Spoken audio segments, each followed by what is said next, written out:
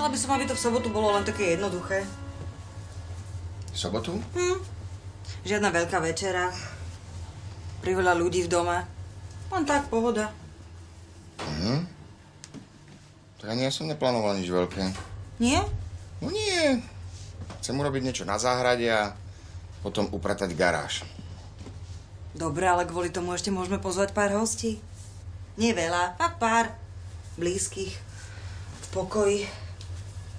Chceme pozvať hosti? No tak ako chceš. No nie, tak ja urobím ako ty chceš. Veď to, že ja nemám názor. Nemám chuť na nič krobené.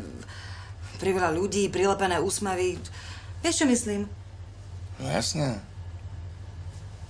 A prídu aj devčatá? Priateľky našich chalanov?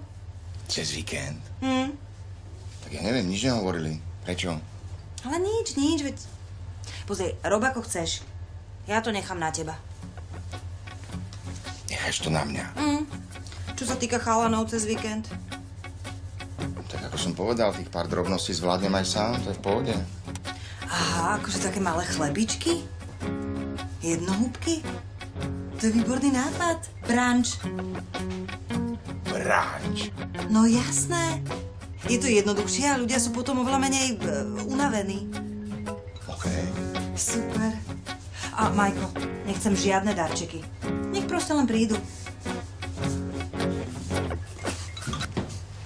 Keľu, do keľu. Andrea, ja mám totálne okno. Nevieš, kedy má Luisa narodeniny?